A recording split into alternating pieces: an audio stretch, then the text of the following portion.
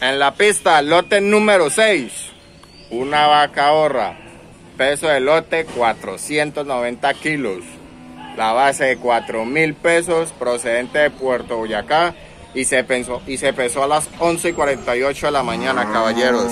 Lote número 6, la base de 4 mil pesos.